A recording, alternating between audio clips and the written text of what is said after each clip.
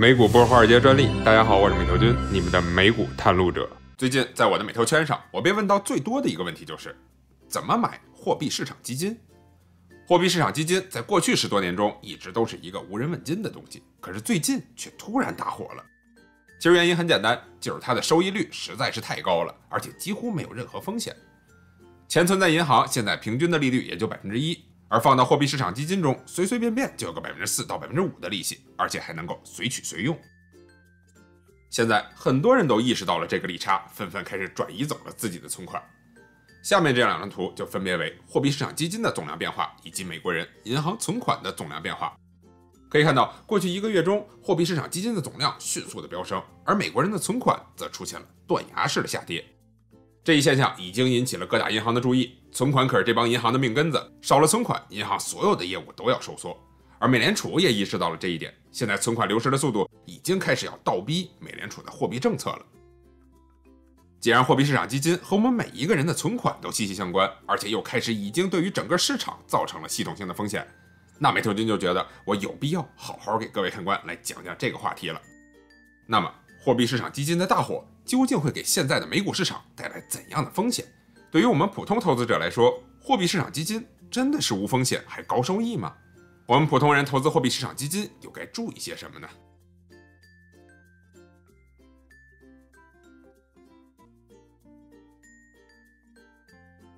要说货币市场基金的突然大火，还得从前段时间闹得沸沸扬扬的 SVB 破产事件开始说起。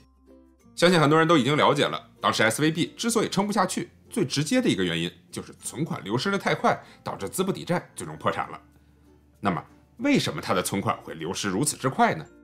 其中很大一部分原因就是因为这个货币市场基金。当时的货币市场基金的利率普遍都能逼近百分之五，而且像存款一样，货币市场基金也可以随用随取。而反观 SVB 呢，它的存款利率却只有可怜的百分之一都不到。我们普通人对于利率、各种投资工具都并不敏感。但是企业可不同，他们往往都是有专业人士来管理财务的，所以他们知道该如何最大化自己的收益。而 SVB 的客户就几乎全部都是这些企业客户，他们看到了市场上有如此高的利差，那很自然的，这些存款就陆陆续续的被转去了更高收益的地方。SVB 本身的运营又有问题，这就加速了它的破产。在 SVB 破产之后，嗅觉灵敏的投资者就纷纷注意到了这个幕后推手——货币市场基金。再加上 SVB 破产之后所引发的存款信任危机，很多人就开始纷纷转移自己的存款。而那些嗅觉灵敏的人，他们就开始意识到，将钱转移到大银行也不过是收到百分之一左右的利息，那还不如干脆有样学样，直接把钱转进货币市场基金，这样还能吃到更多的收益，何乐而不为呢？于是我们就看到了视频一开始那一幕：货币市场基金的总量在快速增加，而存款的数量却在断崖式的下跌。自三月八日 SVB 暴雷之后，共有三千亿美元的巨款流入到了货币市场基金中，而同一时间，美国人的存款又刚好流失了三千亿，这肯定不是一个巧合。到现在为止，这种存款流失的趋势仍然没有结束，反而随着越来越多人意识到这个利差，存款流失的速度还在继续的加剧。那么，这会对于金融市场造成怎样的影响呢？一个最直接的影响就是，它会加剧眼下银行的流动性危机。只要货币基金和银行的存款的利差依然存在，那银行就会血流不止，总会有一些类似于 SVB 这样经营不善的银行步它的后尘。但这还不是最可怕的，最可怕的影响在于银行们会因此而收紧信贷，也就是银行不去贷款了。如果看了我们上一期介绍银行运营模式的看官就应该了解，银行运营最重要的就是它的存款数量。银行的所有赚钱项目，包括它的借贷、投资等，都取决于它存款的规模。一旦存款流失的过快，银行出于审慎经营原则，再加上极其严格的监管，他们就必须要收缩自己所有的业务。而这将影响的绝不仅仅是银行少赚钱这么简单，更关键的是，它会减少经济体中的货币流通数量，从而抑制经济的发展。这个道理很简单，一旦银行不愿意放贷了，那么企业拿不到钱来运营，民众拿不到钱来消费，那整个经济就肯定会收缩。也就是说，只要货币市场基金和存款的利差一直保持，那么存款就会一直有流失的风险，那美国经济就有加速进入衰退的趋势。而解决这个危机最彻底的一个办法，就是美联储的降息。货币市场基金之所以能有今天如此高的利息，就是因为美联储史无前例的急速加息所导致的。而如果美联储开始降息了，那货币市场基金的收益率马上就会跟着降下来，这就可以为银行进行止血，抑制存款的外流。这就是为什么美联储虽然嘴上说今年绝对不降息，但是市场都预计美联储今年还是会至少降三次息的原因。这就是因为市场认为美联储它不可能让这种巨大的利差这样持续下去。说了这么多货币市场基金的影响，我相信肯定有看官跟那儿咬后槽牙了。你咋就是不讲到底什么是货币市场基金呢？其实啊，你别看货币市场基金影响挺大，名字听起来也挺唬人，但其实这东西没啥技术含量，也非常好理解。货币市场基金首先它就是一个基金，和其他基金一样，它就是一个投资了一篮子产品的这么一个组合。只不过它的这一篮子组合全部都是一些风险最低、流动性最好的短期债券。其中最大的投资标的就是美国的短期国债，一般到期时间都在三个月以内。这也是为什么美联储的货币政策对于货币市场基金的影响如此之大的原因。因为美联储所调整的基准利率就直接反映在这些美国的短期国债上。现在美联储的基准利率在百分之四点八三左右，而短期国债的利率基本也在这个水平，而大部分的货币市场基金的利率就也在这个水平。除此之外，货币市场基金的组合里还会投资一些诸如银行承兑汇票。存款证书、商业票据等短期的金融产品，不了解这些是啥其实没关系，你只需要知道这些都是一些到期日极短、流动性极高、风险又极低的投资品就可以了。它们跟短期的国债其实非常类似。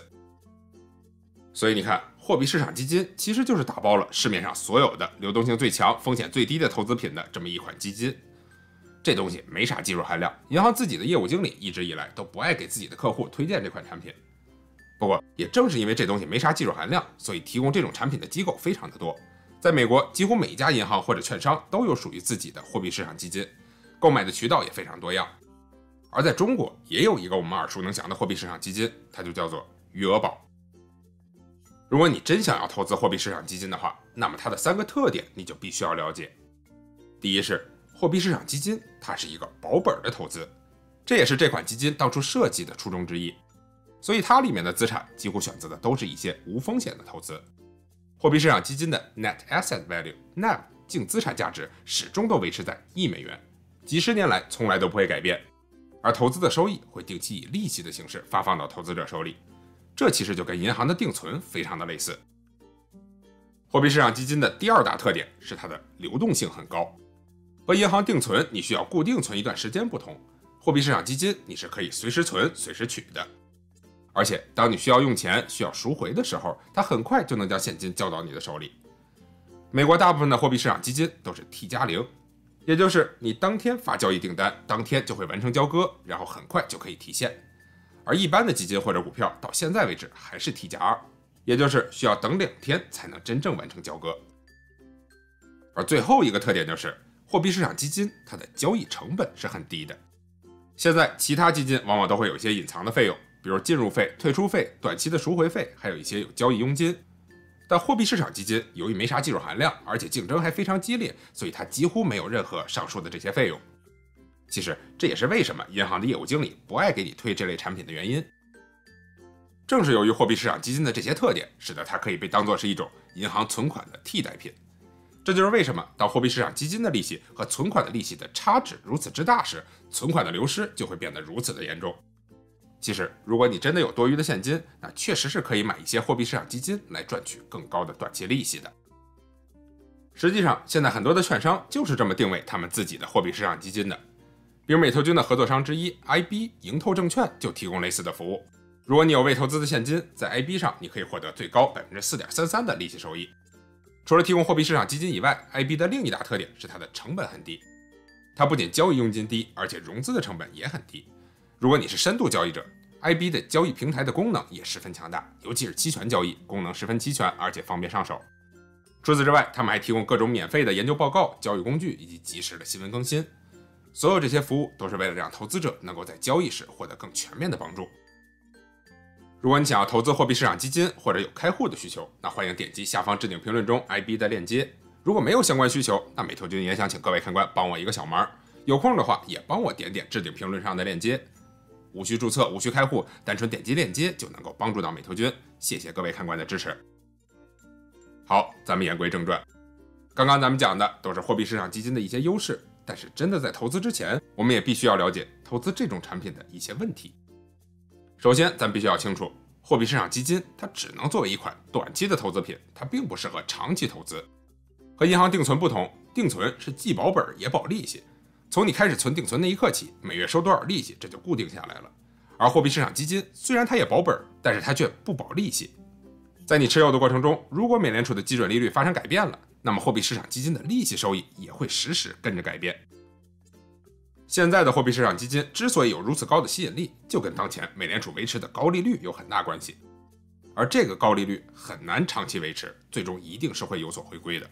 也就是说，你的利息收益最终也肯定会降低。实际上，在八十年代的时候，货币市场基金也曾一度大火，当时的基准利率曾一度飙到百分之二十。但没过多久，利率就降到了百分之三，货币市场基金的收益也跟着大幅下降了。事实上，如果你去看历史数据的话，货币市场基金长期是一直跑不赢通胀的。所以，短期拿它来代替存款确实是可行的，但是长期投资它并不合格。另一个投资货币市场基金不得不考虑的因素是，它并不在 FDIC 的保险范围之内。如果你把钱存在银行，假设银行倒闭了，那么政府机构 FDIC 就会有一个二十五万美元的保险来 cover 你的损失。但货币市场基金它却并不在保险的范围之内。如果你投资的货币市场基金的发行银行真的倒闭了，那也不会有人给你兜底。你可能会质疑，我们刚刚不是还说过货币市场基金是保本的吗？怎么现在又有风险了呢？是的，多数情况下，货币市场基金确实是保本的，但是在极端情况下，它仍然存在亏本的风险。这事儿在零八年金融危机的时候就曾经发生过。当时全球最大的货币市场基金之一 Reserve Primary Fund，简称 RRF，就曾经发生过这么一次巨大的危机，公司甚至因此而最终宣告破产。事情的起因是 RRF 的仓位中持有很小的一部分雷曼兄弟的商业票据，大概占比是百分之一点二。而随着雷曼兄弟后来的破产，这百分之一点二的商业票据就变成了 RRF 的永久性亏损。百分之一点二看上去不多，但市场却给吓坏了，因为他们意识到货币市场基金也不一定是完全安全的。他还持有诸如 AIG、美银和花旗银行的商业票据，这些金融机构也都处于自身难保的状态，谁也不知道这些商业票据会不会也出问题。于是消息发布之后，投资者几乎在同一时间都要求赎回基金，仅仅二十四个小时，RF 就有三分之二的资产被申请赎回，很快挤兑就发生了。为了应对挤兑，RF 马上宣布把净资产价值从原来的一美元降低到了零点九七美元，这就意味着投资者已经亏本了百分之三的本金了。同时，该基金还宣布在七天之内不接受任何形式的赎回申请。这下好了，货币市场基金的两大优势——保本和流动性高，全都给干没了。投资者一下慌了神，恐慌迅速蔓延至其他的货币市场基金上，美国的全体银行都不约而同地面临了挤兑的风险。最后还是政府的介入挽救了这场危机。当时的美国财政部先是让始作俑者 R F 立即停止运营，并且马上进入破产清算程序。一个拥有六百五十亿美元的超大型货币市场基金就瞬间崩塌了。为了安抚其他投资者，财政部同一时间出台了一个货币市场基金的临时担保计划，给所有的货币市场基金保本。当然 R F 的投资者除外。政策出台之后，投资者的情绪逐渐平复了下来，挤兑潮也就很快停止了。历史上最严重的一次货币市场基金的危机就此告一段落。也正是因为这场危机，SEC 最终决定对货币市场基金实施更加严格的监管。其中，SEC 就规定了货币市场基金中有百分之九十七的资产只能投资信用评级最高的两个评级的证券。SEC 还要求货币市场基金增加流动性，规定至少有百分之十的资产能在一天之内就转换成现金，百分之九十五的资产要在一周之内能够转换成现金。另外，SEC 还会定期给货币市场基金进行压力测试，来保证他们的能力在各种极端情况下都能够保持一个稳定的净资产价值。目前看来，货币市场基金要想要再发生零八年这样的危机，已经可能性很低了。但这也至少给我们投资者了一个警示，那就是投资永远都是有风险的，任何情况下都不能放松警惕。说了这么多，我想你应该对于货币市场基金有了一定的了解了。如果你真的决定要投资的话，那么具体应该怎么投资呢？又有什么因素需要我们注意呢？首先，收益率毫无疑问是最需要考虑的。业内最常看的数据是过去七天年化后的实际收益率。之所以没有选择其他基金常用的三十天或者是一年，是因为货币市场基金的收益率波动非常大，几乎每个月都会不一样，所以只有最近几天的收益率才真正具有参考价值。另外，我们看到的收益率一般都是扣除了管理费之后的收益率，所以大家选基金的时候可以直接忽略管理费，直接比较实际的收益率就足够了。另外，货币市场基金的税收优惠政策也值得我们关注。举个例子，像 Vanguard 的市政货币市场基金。VMSXX，它就会对部分的美国人群提供税收优惠，所有利息收入都会免征联邦的所得税，不过还是要交地方税。还有一些基金则连地方税也可以免掉。如果你的税阶特别的高，那么这些基金说不定会更适合你。但你也要知道，这些有税收优惠的货币市场基金，它们的收益率普遍要更低一些。就比如这个 VMSXX，它的收益就只有百分之三点八七。比一般的货币市场基金要低个百分之一左右。还需要注意一点，美国大部分的货币市场基金都只是给美国居民所提供的。如果你不是美国居民，你也可以找一些本地的券商或者银行所提供的美元产品。比如我所在的国家加拿大就有一些本地的券商提供美元的货币市场基金，其实收益率也差不了太多。你也可以选择直接投资本地货币的货币市场基金，比如中国就有余额宝。最后再啰嗦一句。由于合规的原因，有一些券商它不一定能够提供货币市场基金，或者他们只提供自己发行的货币市场基金。所以，如果你的券商在交易页面中找不到你想要投资的标的的话，你可能就得去打电话问问你的银行或者券商有没有其他的交易渠道了。如果你喜欢美投君的视频，别忘了点赞、关注和转发哦，谢谢大家。